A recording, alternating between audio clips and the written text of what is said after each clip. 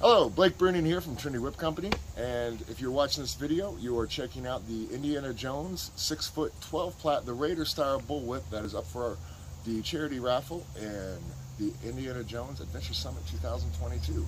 I want to thank you all for letting me be a part of it, and I got this whip especially prepared and as much as the David Morgan fashion as I can, as I always do. It has a kangaroo overlay, kangaroo bellies, kip or cowhide for core and bolsters, and it is scaled down a little bit to be a little bit more fun and fast, so whoever gets this will have fun cracking the knives away.